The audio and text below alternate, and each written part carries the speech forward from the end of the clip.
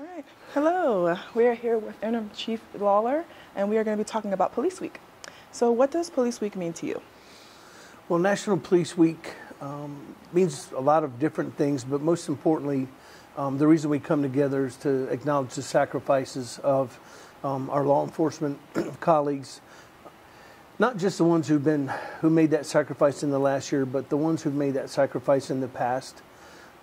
Unfortunately, there's over 23,000 names on the wall in D.C., and, and more will go on this year. But while we remember their sacrifice every day um, in our own way, coming together as a group for Police Week, um, we put the extra effort into acknowledging those sacrifices, um, to joining together with our colleagues, not just from our own department, from but from departments around the country and, and making sure that we give them the respect and, and acknowledge those sacrifices that they made.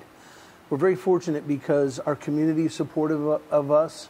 Um, this week, there will be um, moments where the public will acknowledge their appreciation for us.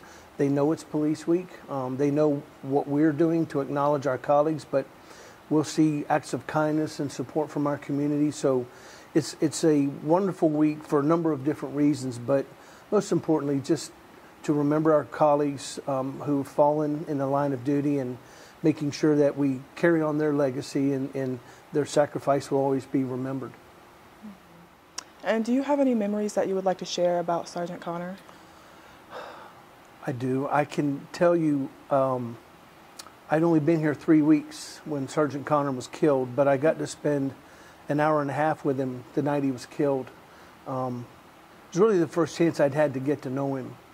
Um, I hadn't yet been to the police academy. Um, he was very kind and reassuring. I was a little nervous about what the police academy might entail, but um, he gave me an idea what to expect. Uh, he, I kept calling him sir, and he told me, he said, you know, if the chief's not around, you don't have to call me sir. he said, but if the chief's around, I, I, get it, you have to. He was very unassuming like that. Um, and I was very grateful just to be able to spend some time with him that night. Obviously, I didn't have any idea what was about to happen, excuse me, but um, I am grateful for uh, just that little bit of time I got to spend with him.